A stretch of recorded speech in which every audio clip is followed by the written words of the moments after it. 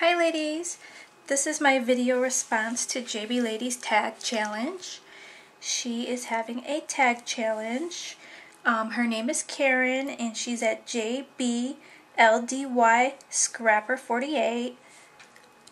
Thank you Karen for hosting this challenge and I loved your tags. They came out so beautiful.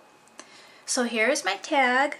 The uh, requirements for the challenge were must include flowers, trim, and stamping, and make a video response. So this is what I did.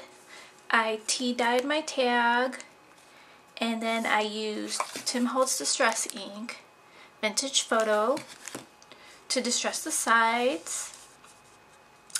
I stamped the word happiness, dream, inspire, and this rustic little birdie I used this Fiskars stamp set.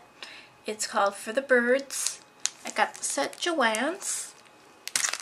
Super cute. And I tea-dyed tea-dyed on the seam binding and I wrinkled it up.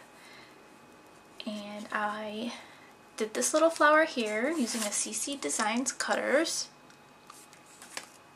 I distressed the edges with the vintage photo, added a little brad, then I put my trim here, my lace trim. I have two layers.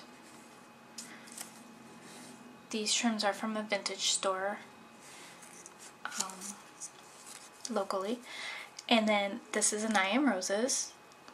And then I have a little piece of lace sticking out underneath. And then a little bling spray here. So this is my entry.